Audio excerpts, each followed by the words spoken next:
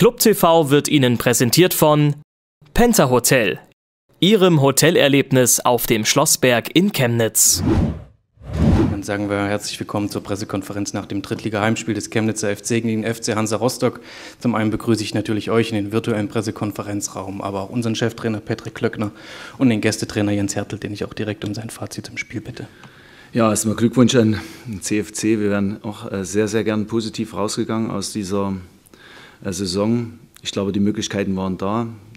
Wir haben, glaube ich, in der ersten Halbzeit die deutlich klaren Möglichkeiten, haben die äh, nicht, leider nicht genutzt. Äh, zweite Halbzeit dann äh, okay durch den Elfmeter hinten gelegen, relativ schnell den Ausgleich gemacht, waren dann eigentlich drauf und dran, das, das zweite Tor zu machen. Haben zwei Riesenchancen, einmal von Nico Neiter, das andere Mal von Mirnes Pepic, die wir dann nicht nutzen. Und dann, ähm, ja, Standards gehören zum Spiel. Und dann waren dann halt nochmal zwei Standards. Auf einmal steht es dann 1-3.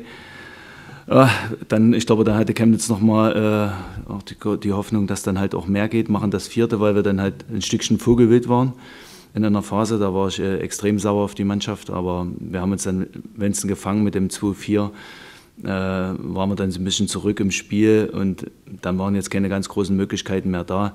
Also das wäre schon auch schlimm gewesen. Für Chemnitz natürlich gut, aber für uns, wenn wir dann uns jetzt dann hinten raus hätten noch abschlachten lassen, das wäre Katastrophe gewesen. Von der Seite müssen wir es jetzt so nehmen, wie es ist. Wir sind enttäuscht, aber wir können halt froh sein, dass die anderen halt äh, äh, aus unserer Situation die Spiele gewonnen haben und wir nicht jetzt äh, wegen eigener Blödheit äh, diesen, diese, diese Relegationsspiele verpasst hätten. CFC wünsche ich äh, für die neue Saison alles Gute. Es ist bitter. Das äh, will niemand erleben. Macht mir jetzt auch keinen Spaß, hier zu sitzen und alle so traurig sitzen zu sehen. Aber das ist halt Fußball. Hertel, vielen Dank für Ihre Einschätzung. Patrick, bitterer Nachmittag, sensationelles, gutes Spiel gemacht, auch vom Ergebnis her super. Aber am Ende ist es trotzdem Scheißtag. Ähm, wie hast du es gesehen heute? Wie geht's dir? Ja, es ist auf jeden Fall einer der traurigsten äh, Tage, die ich im Fußball bisher erlebt habe.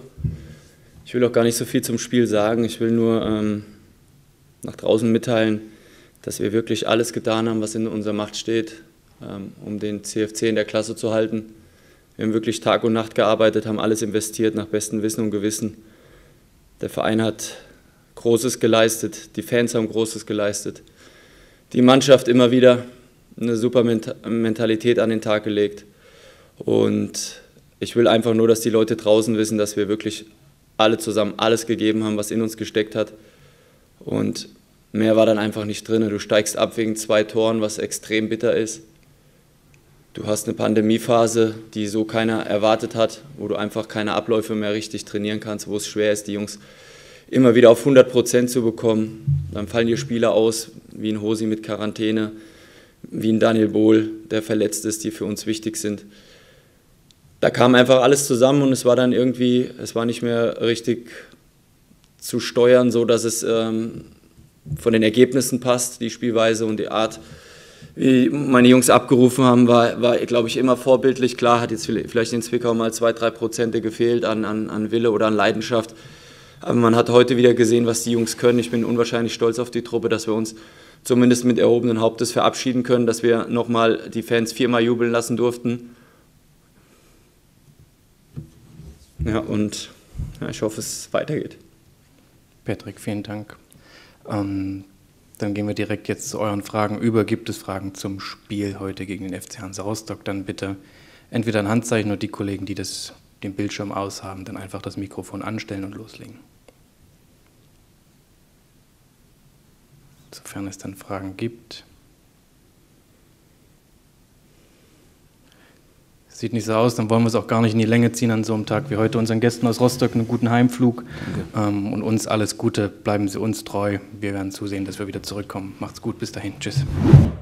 Club TV wurde Ihnen präsentiert von Penta Hotel, Ihrem Hotelerlebnis auf dem Schlossberg in Chemnitz.